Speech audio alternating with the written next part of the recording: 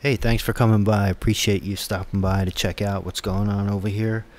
Um, we are working on our Android OBD2 application, and today we are rolling out oh some kind of new feature using live data. Just before we get to that, this is version 10021. It's available. Uh, links are below. Get on Google Play, or you can get that special link that I have here in this video. Um, okay, so what have I done here? Well, if history is any indicator, uh, I've just sort of started to implement this, and there's problems ahead, but we'll go ahead and see where we got. So sort of just jumped in with this one. So what do we got here? We have live data. Now, what happens with live data is the car actually reports to, to a certain degree the PIDs that it supports, the, the parameters, the information that it can give you. So you don't have to sit there and guess. And this is what something that I was doing like not even a couple months ago. I was just sort of, oh, well, let me try to get this. Let me try to get this. Now I've got a little bit more disciplined here. And when I come in, the software will actually, it's resetting, but it will interrogate and get, it, get the PIDs and it'll develop a list of uh, PIDs. Now, this is a sort of like what we're used to in professional, nicer scanners where you can get a list and you say, I want to see this, you know, whatever. You, you make your picks and then you say go. And, um, okay, so I didn't really pay attention to what I was picking, so there's not only information coming from the route. Now, my truck is outside, I, I forgot to mention. Um, so we have, you know, you'll have units, PSI, kilometers per hour, um, nice little clear. So let's just go for something. Let's go for the temperature sensors. There's the engine. I have three on here. Now, I didn't support all the PIDs. I had to stop at some point. I wanted to, I, I mentioned in another video, I need to draw the circle, which is like, I wanted to do live data. I wanted to be able to show that I could, I just wanted to do freaking live data, have it implemented, and then offer it out and um, but what I had to do is I had to stop. Like I, I actually have to address each one of these. It's not a ton of work doing each one, but but you do have to pay attention to every single thing, right? You you don't you don't just throw this stuff together. And basically, this list here is just a list of numbers that I get. Uh, no, it's not even a list of numbers. It's a list of bits representing numbers. Um, Anyway, so let's go get the temperatures. Uh, let's see. Uh, there's the intake air temperature, and well, let's grab the fuel level anyway.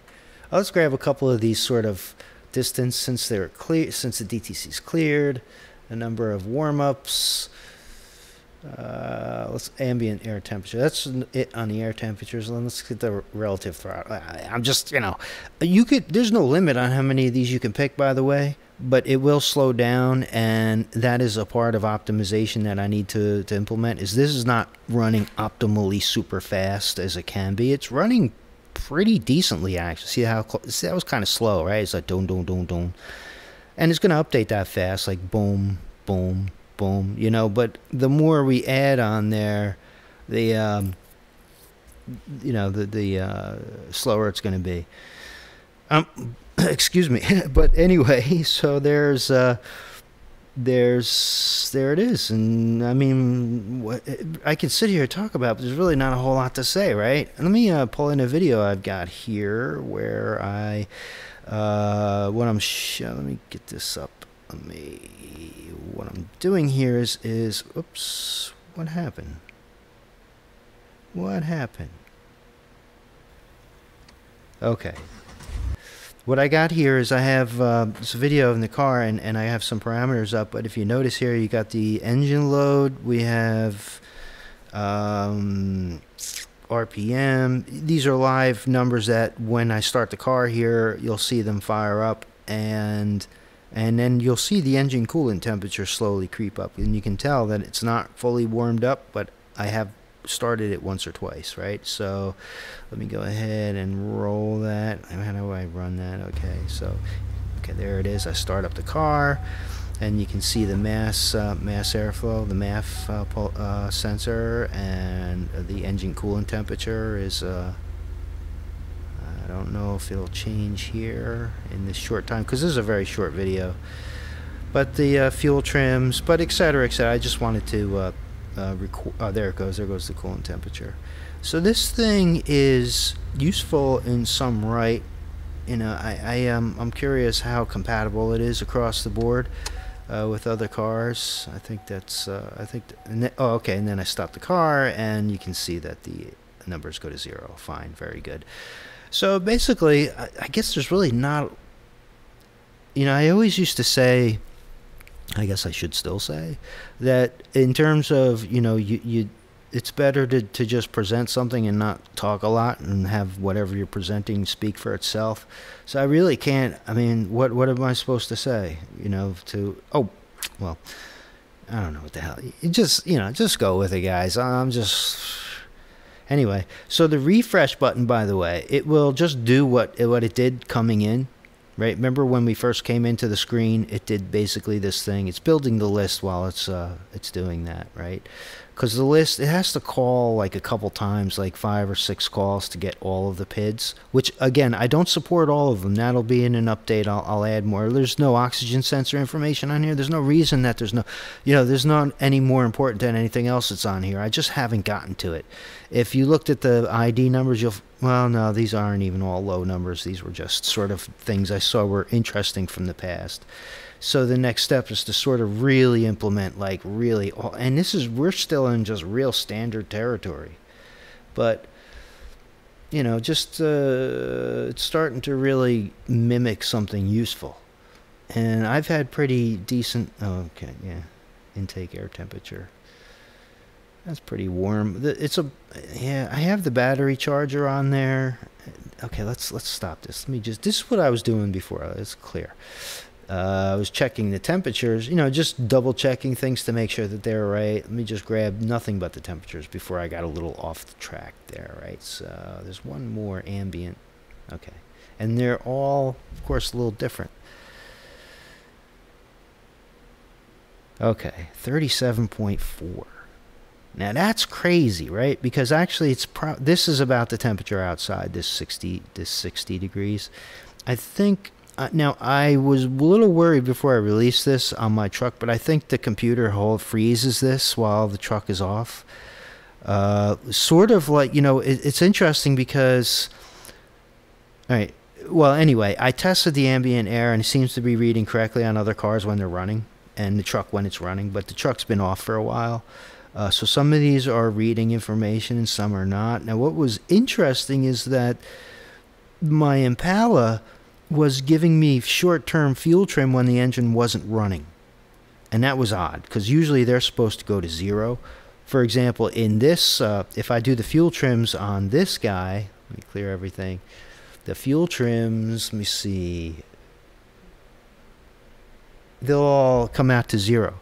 But if I go out there and turn the key and start the truck, the numbers will show up like they did in the Impala. But the weird thing is when if I do the same exact thing with the Impala off, I'll see whatever the last numbers were in the in the uh, fuel trims.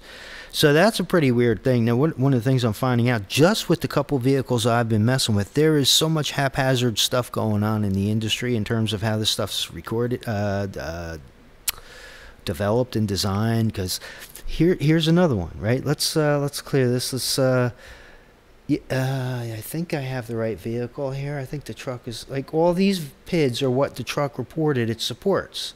These are all throttle position and accelerator position. So let's grab let's grab that. Yeah, see, it took a little while to pull in. Um, anyway, the throttle position C for some reason I'm getting no data. I actually, I, I was, this was causing an error in my application, and I, I was like, well, how come I'm not getting anything for C? And I went and I went all the way down, and it's just nothing. The, tr- when the truck reports that I, I am going to give you position C, but then when I ask for position C, I get nothing. I get nothing. So this is, so I just, in my software, I just say zero.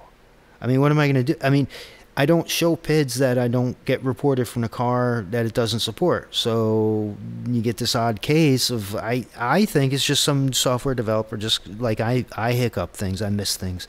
They say we're going to report this PID, and then when you ask for it, it's just not there. Um, and it's like it's not there like uh, not like a negative response like oh we don't have that. It's just like. Mm, you know, like when you're talking to somebody, like what Barack Obama did to Joe Biden, you know, it's just like, I'm not acknowledging that Anyway, okay, let me just stay off of that. Right, that wasn't. It's just. I just couldn't resist, man. Did you see that?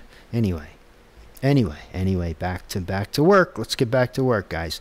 So, um, so there it is, man. Live data on the uh, the old Android app. More PIDs to come. If you want to really fast, you know, actually, you saw the Impala video. There was. Let me see that again, uh, real quick. That video, like the updates were pretty fast.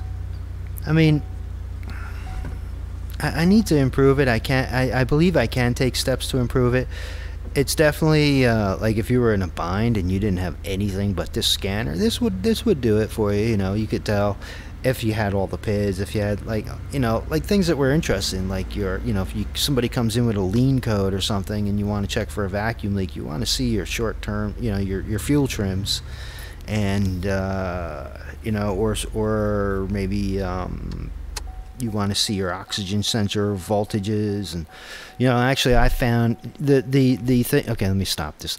The thing that's interesting is i, I started this whole project thinking about bidirectionality and um and actually the the and and i still have that in my in my sort of uh, agenda. The it's just taken me forever man.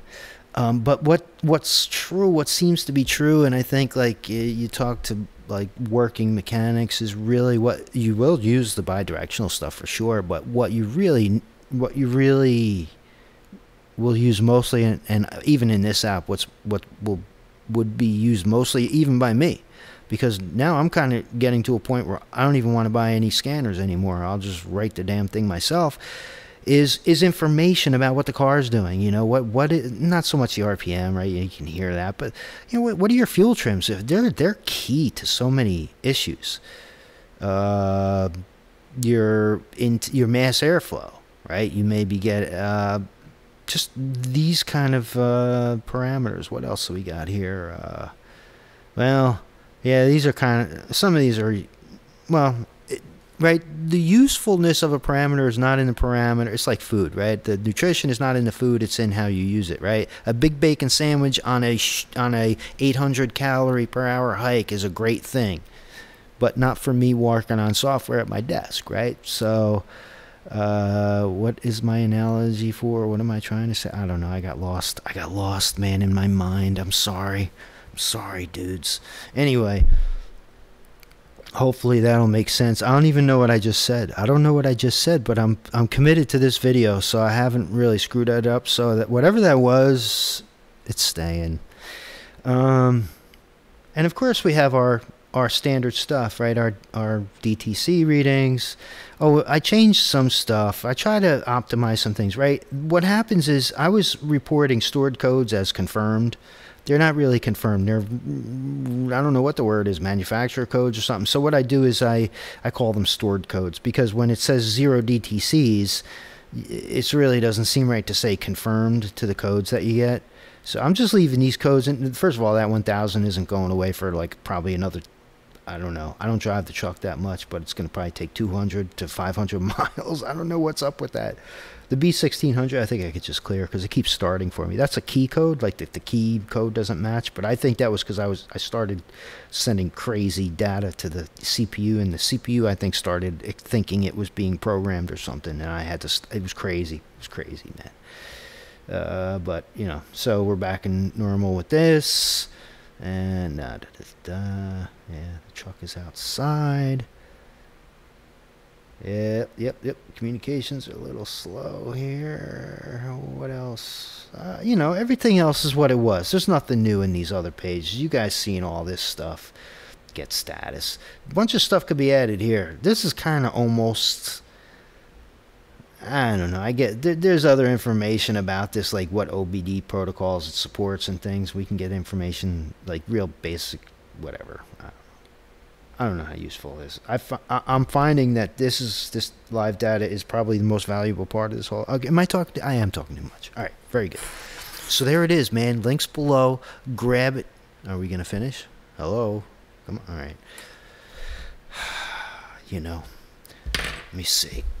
All right, I'm going to do something I don't normally do. I'm just going to kind of grab this. I want to bring this over closer to the window because that everything is like app, you know, everything's really slow Everything's like uh, get, er, getting acting. See how yeah, see how I was much quicker just from moving a little bit like that. What are you saying? I'm insecure? Yeah, I am. I'm scared. Life scares me, man. You know, and the older I get, the more scared I get. All right, I yes, you. All right, nothing ever works right for me except for the stuff that I didn't plan. All right, so so there it is. I think I talked. I definitely know I talked too much. I really appreciate you. I'm trying to speak. I really appreciate. I very much appreciate the fact that you came by to watch my video and listen to my whack I don't know what the hell I'm talking about. But as a gift to you, have that uh, have this app.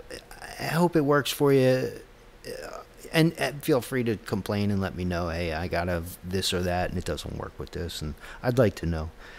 Anyway, okay, so very good. All right, now I'm looking for the stop button. Thanks a lot for coming by. I hope you have a great day. Summer's coming, spring's coming.